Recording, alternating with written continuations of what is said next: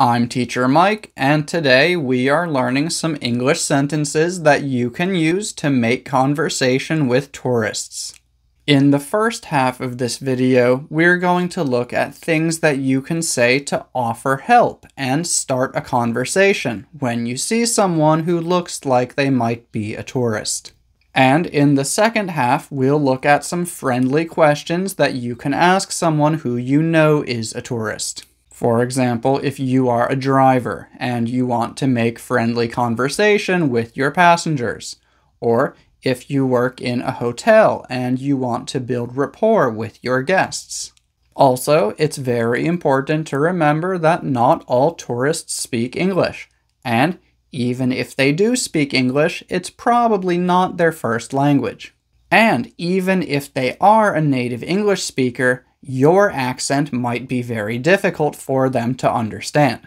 So when you try to start conversations with tourists, make sure that you are speaking clearly and not too fast. Now let's get started with the language. When you are in public and you want to start a conversation with someone you don't know, the first thing that you should do is say, Excuse me. Look for someone who looks like they need help say excuse me, and then ask them one of these questions. Do you need help? You can use this one in any situation in which it looks like someone might need help with something. Do you need help finding something? Do you need help getting somewhere? Do you need directions? You can use these ones when it looks like someone is lost or trying to find something. If they say yes, tell them how to go wherever they are trying to go.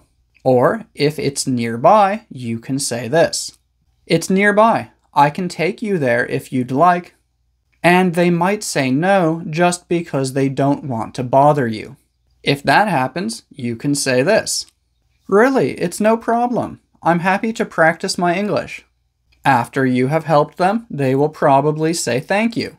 Then you can say this You're welcome. I'm happy to practice speaking English. Is there anything else I can help you with? If they say no, you can say, okay, enjoy the rest of your trip. And then go find another person to help. Also, here's another idea for people who aren't comfortable walking up to strangers and starting conversations. Suppose you live in Thailand. Make a sign that looks like this. I guarantee that if you take that sign to a place where there are lots of tourists and you spend a few hours there, at least five people will stop to talk with you. Now, here are some friendly questions that you can ask when you know that someone is a tourist. And again, let's just pretend that we are in Thailand. Is this your first time visiting Thailand? It's a basic yes no question, but it's a good question to start with. How long are you here for? This just means how long are you staying in Thailand? How long is your trip? How has your trip been so far? This basically means have you been enjoying your trip?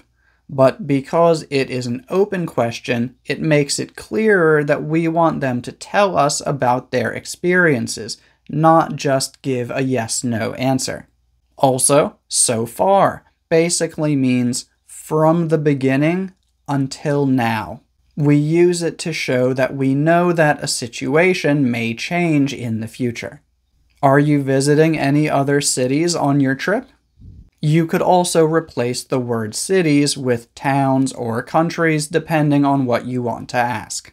Is there anything that you'd like to know about our language or culture? This is just a friendly way to let them know that you want to help them and you are happy to answer any questions that they have. If you're talking to someone who has been in the country for at least one day already, here are some questions that you can use to ask them about their experiences.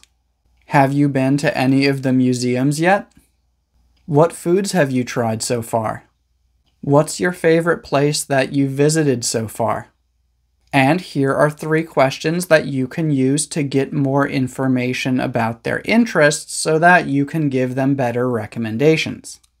Are there any foods that you're interested in trying? Are there any specific places that you're interested in visiting? What type of activities are you interested in? So, yeah, those are the basic sentences that I recommend. Do you have to use those ones? No, you don't, but I think they're pretty good. I hope you found this video useful. Thank you for watching.